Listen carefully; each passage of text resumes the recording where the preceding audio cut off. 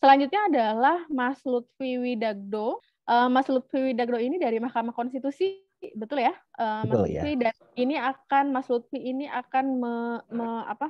Mungkin juga bisa merangkum atau uh, mengkerangkai dari hak-hak tadi yang sudah dibahas mulai dari uh, di hak uh, pendidikan, lalu kemudian juga uh, bagaimana uh, pembangunan yang berkeadilan untuk masyarakat adat, apakah ad, memang ada uh, uh, ikon-ikon hak konstitusional warga negara untuk masyarakat adat, untuk uh, uh, akademika dan yang lain-lain gitu. Karena uh, tema dari paparan dari Mas Lutfi ini adalah 66 ikon hak konstitusional warga negara dan pendidikan HAM di Indonesia.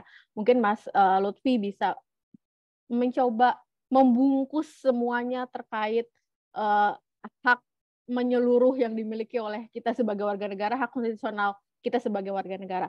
Silakan, dipersilakan. Baik, terima kasih banyak Ibu Ayu, uh, para organizer dan juga Bapak Ibu sekalian yang saya hormati. Uh, nama saya Lutfi Widakdo Diono, saya adalah uh, pegawai di Pusat Studi dan Pengkajian Perkara di Mahkamah Konstitusi. Nah, dibandingkan dengan presentasi-presentasi sebelumnya, saya sudah membayangkan bahwa presentasi saya agak agak terkesan garing ya karena saya secara deskriptif akan mencoba untuk menyampaikan ada ada ada hal yang baru di Mahkamah Konstitusi. Tapi paling tidak mungkin akan bisa berkontribusi dalam uh, dalam sebagai rujukan dalam pendidikan HAM di Indonesia. Uh, tema presentasi saya adalah mengenai 66 ikon hak konstitusional warga negara dan pendidikan HAM di Indonesia.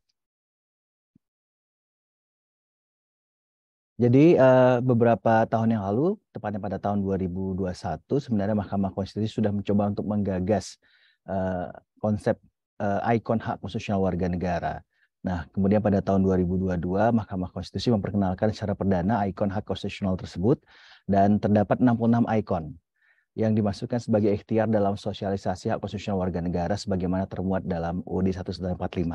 Kalau kita lihat konsepsi ikon ini sebenarnya kalau tidak saya tidak salah ya eh, Komnas Perempuan juga sudah mempunyai eh, model ikon hak konstitusional ini tapi mereka hanya menunjukkan 40 hak konstitusional.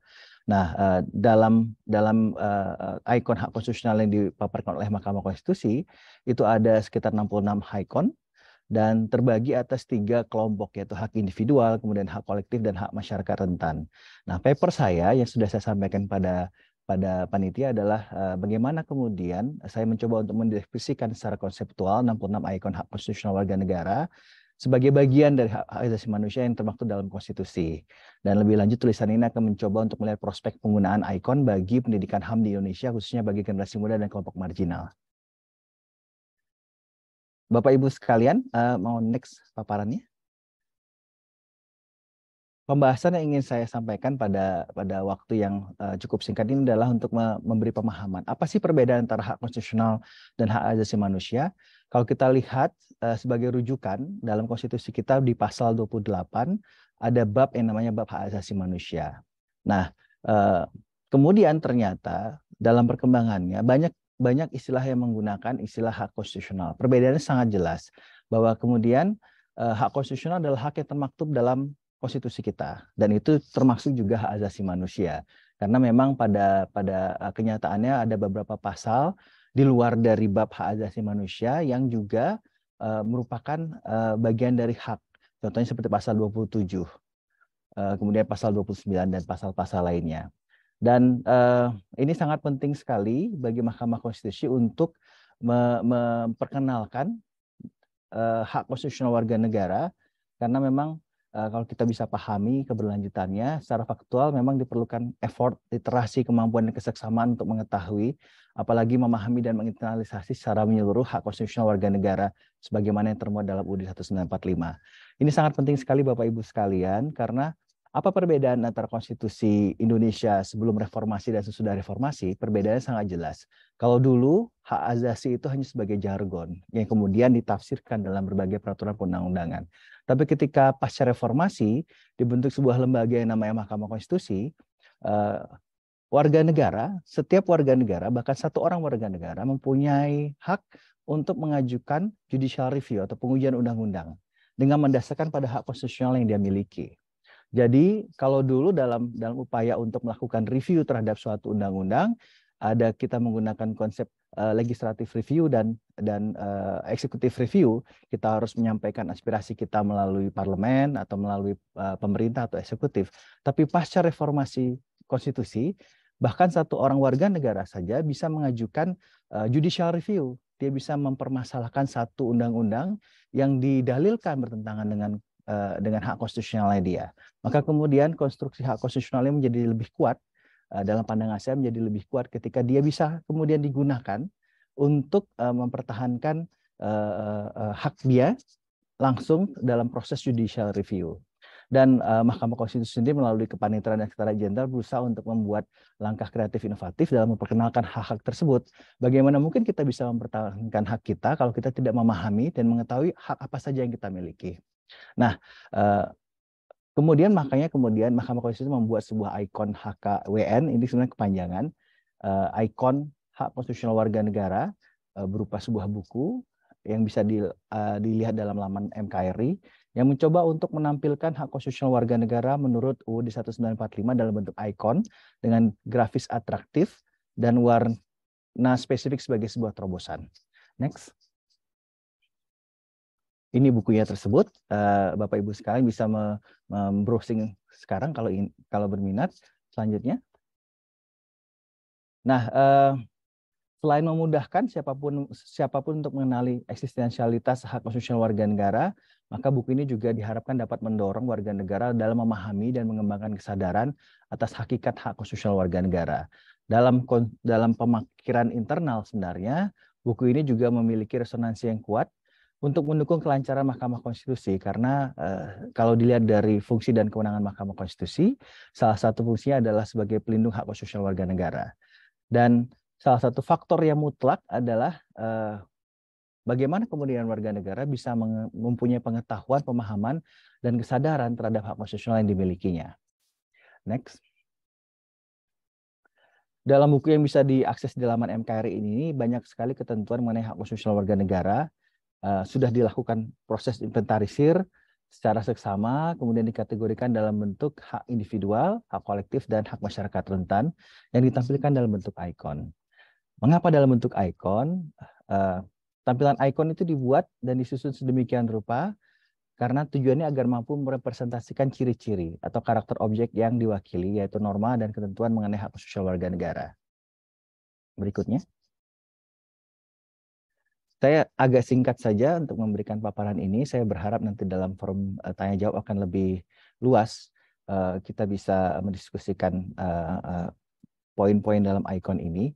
Nah, sebagai penutup saya ingin me me menceritakan sedikit bahwa konsepsi hak kolektif, hak individual, dan hak masyarakat rentan ini penting sekali karena dalam proses berpraktek di Mahkamah Konstitusi sejak tahun 2003 sampai sekarang, bahkan uh, ada banyak individu yang sudah berhasil mempertahankan hak konstitusionalnya dan bisa mengubah tidak hanya mengubah satu atau dua pasal bahkan bahkan dalam beberapa kasus pernah membatalkan satu undang-undang. Salah satunya uh, yang paling uh, dikenal adalah Fatul Hadi Usman. Dia adalah seorang guru. Dia mempermasalahkan mengenai anggaran pendidikan 20% uh, yang belum termaktub dalam APBN berkali-kali diajukan akhirnya kemudian bahkan Mahkamah Konstitusi membatalkan APBN tersebut uh, dengan memaksa agar pemerintah dan DPR membuat APBN yang uh, sesuai dengan uh, konstitusi yaitu dengan dengan memaklumatkan anggaran 20% pendidikan. Dan banyak sekali isu-isu yang yang diajukan oleh person tidak hanya persen tapi juga kumpulan persen bahkan badan hukum dan badan hukum publik dan privat termasuk juga uh, kesatuan masyarakat hukum adat yang sudah mencoba untuk mempertahankan hak konstitusionalnya uh, dengan mengajukan proses judicial review. Jadi uh, perkembangannya ketika Mahkamah Konstitusi diintrodusir dalam sistem ketatanegaraan Indonesia, kita memahami ada sebuah konsep hak asasi manusia. Tapi kemudian bagaimana mempertahankan hak asasi manusia itu? Kita bisa melihat apakah hak asasi manusia yang ingin kita pertahankan itu merupakan hak konstitusional yang kita miliki sebagai warga negara? Apakah hak termaktub dalam konstitusi kita? Ketika sudah termaktub dan kita melihat apakah adanya potensi kerugian tersebut, maka kemudian bisa mengajukan judicial review di Mahkamah Konstitusi. Dan yang lebih menarik lagi, Bapak Ibu sekalian, dalam konstruksi kerugian konstitusional yang di, dijadikan presiden dalam berperkara di Mahkamah Konstitusi, kerugian konstitusional itu tidak harus kerugian yang bersifatnya aktual atau yang sudah pernah terjadi atau yang sudah dialami atau yang sudah eh, menciptakan kerugian. Bahkan potensi kerugian konstitusional itu juga menjadi dasar atau pintu masuk untuk mengajukan proses judicial review. Nah, eh, Mahkamah Konstitusi memang menggunakan dasar kerugian konstitusional ini sebagai pintu masuk dalam melakukan pengujian konstitusionalitas, eh, di mana dalam proses tersebut undang-undang itu kemudian akan diperhadapkan dengan nilai-nilai yang ada dalam konstitusi. Saya kira begitu Bapak Ibu sekalian, Ibu Ayu. Saya berharap sekali dalam proses tanya jawab nanti kita bisa mendiskusikan lebih lanjut. Terima kasih. Selamat sore. Terima kasih Mas Lutfi. Uh, sebenarnya baru di chat ya sama Mas Ari, tapi udah langsung menutup. Saya masih sesungguhnya masih ingin mendengar uh, cerita dari Icon ini. Uh, saya ingin mengkonfirmasi Mas ya. uh, apa namanya tuh Mas. Jadi ini itu semacam uh, ini kan bisa di agar dapat dijadikan tools untuk pendidikan HAM, begitu ya? Betul. Yang mungkin bisa dilakukan gitu ya. Oke. Okay. Iya. Oke, oke, baik, baik. Menarik, menarik karena biar kita juga uh, oh, ini saya udah habis lagi. Uh, apa namanya itu biar juga kita bisa me, me, apa namanya itu ketika mengecek undang-undang itu nggak harus buka undang-undang yang setebal itu, buku undang-undang yang setebal itu, tapi uh, bisa menggunakan tools ini dan saya rasa lebih lebih apa ya, mm, lebih populer dan mungkin bisa applicable juga gitu ya. Dan dan dalam proses pembelajaran hak asasi manusia Betul, mungkin ya? di tingkat uh, pendidikan dasar, menengah dan atas dengan hmm. menggunakan ikon mungkin akan menjadi lebih menarik hmm. dan lebih gampang untuk diingat oleh oleh iya, masyarakat ya, muda kita. Betul betul betul betul. Ya uh, maksudnya juga ingin menjadi lebih populer begitu ya. Betul ya. Konstitusi ini biar lebih bisa uh, mendekatkan isu-isu HAM, menerjemahkan isu-isu uh, eh menerjemahkan pasal-pasal uh, ataupun hak-hak yang ada pada undang-undang konstitusi negara itu menjadi lebih mudah dan lebih ringan begitu ya. Betul. Keren sekali. Maksudnya inisiatifnya baik. Terima kasih Mas Lutfi uh, Terima kasih. pemaparannya.